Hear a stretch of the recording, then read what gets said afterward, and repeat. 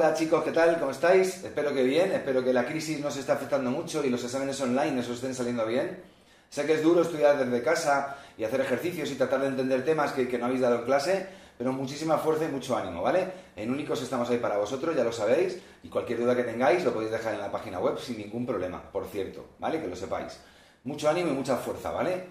Este ejercicio en particular, ya os digo, es de selectividad y lo primero que hago es enunciarlo, que es muy sencillo, el teorema de Bolzano, tenéis que intentar interiorizarlo para no aprenderlo mucho de memoria, pero es bastante sencillo de entender a priori, ahora lo explico, ¿vale? Dice que el teorema del señor Bolzano, un crack, que si f de x es continua en el intervalo cerrado entre a y b, y la imagen de a y la imagen de b son de distinto signo, esto es lo que significa esta expresión matemática, ¿vale? Que la imagen de a y la imagen de b son de distinto signo. Porque si multiplico dos números y me da un número menor que cero, es porque son de diferente signo. O uno es positivo y el otro es negativo, o viceversa, ¿vale? Entonces, esto significa que las imágenes de ambos valores son de distinto signo. Ahora lo vemos en un ejemplo. Bueno, pues si es continua y encima las imágenes son de distinto signo, lo vemos. Por ejemplo, tenemos una función, esta es f de a, y tenemos también f de b, que es de diferente signo. Bueno, pues si la función es continua, haga lo que haga entre medias, pase una, dos o 26 veces por el eje x, corte el eje x, evidentemente en algún lugar seguro, ahora lo veremos, si la función es continua, obligatoriamente tendrá que pasar por el eje x, tendrá que cortar el eje x. Y eso es lo que dice esto de aquí. Que si la función es continua y las imágenes son de distinto signo, tiene que haber por lo menos, por lo menos, al menos, luego veréis esa diferencia en otros vídeos que he grabado, tiene que haber o existir un punto C perteneciente a ese intervalo cerrado tal que la imagen de C, la imagen de ese valor valga cero. Es decir, tiene que haber un valor C, el que sea, de X, que haga que la función se anule, que haga que pase la función por el eje X, corte el eje X en ese determinado valor, ¿vale? Es fácil de entender, ¿verdad? Siempre y cuando, evidentemente, la función sea continua, porque si tiene una asíntota por el camino, no se debería cumplir. Evidentemente no se cumple la primera condición, ¿vale? Teniendo en cuenta eso, nos plantean un ejercicio. No necesitamos dibujar específicamente estas dos funciones. Primero lo leo, ¿vale? Dice, se cortan, así dice tal cual, ¿eh? h de x, una función, igual a 2 elevado a x, y g de x igual a 1 partido entre x, en algún punto se cortan directamente. Bueno, ni siquiera dice ni 1 ni 2, que si se cortan, ¿vale? Se pueden cortar en 26 puntos diferentes, ya os digo. Por lo menos en un punto se deberían cortar si se cumple el teorema de Bolzano. Pero es que no me dice si se corta esta o si se corta esta, no, si se cortan entre las dos. Bueno, ¿qué ocurre cuando dos funciones se cortan? Bueno, pues lo que ocurre en ese caso es que las dos funciones valen exactamente lo mismo en un determinado valor de x. Es decir, se cumplirá esto si se cortan. En algún, para algún valor de x, ambas funciones deberán valer lo mismo. Que se cumpla esto, esto es lo que me, está preguntando en el fondo. Me está preguntando si se cumple esto. ¿Esto que tiene que ver con el teorema de Bolzano y con un cero? Bueno, pues lo que hacemos es pasar este 1, elevado, este 1 por entre x al otro lado restando. Y, traducimos la pregunta a una nueva forma en la que lo que me estarían preguntando en el fondo es esto. Me están preguntando realmente si 2 elevado a x menos 1 partido entre x es igual a 0. Entonces ya sí que podemos más o menos plantearlo utilizando el teorema de Bolzano. ¿Por qué? Porque yo puedo decir que esto, ese 2 elevado a x menos 1 partido entre x es mi función. Si esa función es continua en un determinado intervalo y además consigo encontrar esos dos, esos dos valores tienen imágenes de distinto signo, podré jurar que existe algún valor en el cual la función valga cero.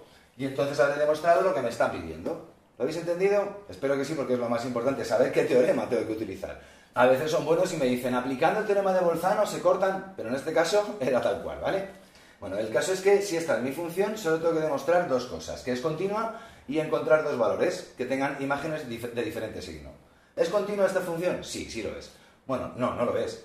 No lo es en todos los números reales porque 2 elevado a x es una función continua en todo R, es una función exponencial y no tiene ningún problema. Pero 1 partido entre x es una función cuyo dominio es todos los números reales menos el 0. Así que esta función no es continua en todo R, es continua en todos los números reales menos en el 0. En el 0 tendrá probablemente una asíntota vertical, pero no es eso lo que me pide el ejercicio. Me pide que encuentre, que, sea continua en un intervalo determinado y que cumpla esta, esta condición de aquí. Así que que ocurra esto no significa que no puedo aplicar el teorema de Bolzano. Lo que tengo que encontrar es dos valores entre los cuales esa función sea continua. Bueno, pues por ejemplo, el 0 no, evidentemente, porque en el 0 no existe la función, ¿vale? Pero puedo, puedo hacer, por ejemplo, voy a calcular f de 1. Y si calculo f de 1, que es un valor sencillito, me dará 2 elevado a 1 menos 1 partido entre 1. ¿Qué es 2 menos 1? ¿Qué es 1? Bueno, pues tenemos que f de 1 es igual a 1. Bien. Si encuentro otro valor, el que sea, el que sea, teniendo en cuenta que esto es positivo, que esto es mayor que 0, cuya imagen sea negativa, ya tendríamos la segunda condición de nuestro teorema de Bolzano y podríamos jurar que ocurre esto. Así que nuestro objetivo en este momento es encontrar algún valor que haga que mi función, ¿vale?, sea negativa. Por ejemplo, voy a intentarlo con el 2. Hay que intentarlo, ¿vale? A veces me dan el intervalo, ¿de acuerdo? Pero en este caso no me lo daban. f de 2. 2 al cuadrado menos 1 partido entre 2. Esto me queda 4 menos 0,5. 4 menos 1 medio también no me gustan los decimales, ¿vale? Que esto es 3,5, ¿vale? Sería 7 medios. Uy, 7 medios. Pero no me gustan los decimales, insisto, no sé por qué los he puesto, ¿vale? El caso es que, si os fijáis, y si intentáis hacer f de 3, o f de 4, o f de 5, cada vez me dará un número más grande. Porque, de hecho, si hacéis el límite cuando x tiende a infinito, os dará que la función tiende a infinito. Esa es la razón por la cual, por mucho que yo siga avanzando, no voy a encontrar valores de la función, por ahora, hacia la derecha, que hagan que la función sea negativa. Bueno, pues vamos a intentarlo en lugar de con el 1, en lugar de, perdón, en lugar de con el 2, o con el 3 o con el 4, voy a intentarlo con un valor más pequeño que el 1. Si este es el 1, Voy a intentarlo, por ejemplo, con otro valor, con un medio, ¿vale? Insisto, no me gusta los decimales, podría haber dicho 0,5. Y a ver cuánto vale. Si f de un medio me diera negativa, tachán, terminamos el ejercicio prácticamente, ¿vale? Entonces, f de un medio será 2 elevado a un medio menos 1 partido entre un medio. ¿Bien? 2 elevado a un medio es la raíz cuadrada de 2. Dejadlo así, no pongáis 1,41, etcétera, ¿vale? Y 1 partido entre un medio es 2. Bueno, pues esto seguro, seguro que es menor que 0. No hace falta ni que lo hagáis. Porque como la raíz de 2 es 1,410, etcétera, 1,4 y pico menos 2 me va a dar negativo seguro. Así que tachan, hemos encontrado dos valores. Uy, bueno, no sé por qué he puesto aquí un círculo, pero bueno, parece un power. Dos valores A y B, ¿vale? Entre los cuales la función es continua, porque el cero, entre el intervalo entre 1 y un medio, entre un medio y 1 no afecta, y además hemos encontrado que las imágenes de ambos puntos son de distinto signo. Nuestro intervalo, nuestra función sería continua, continua en el intervalo entre un medio y 1.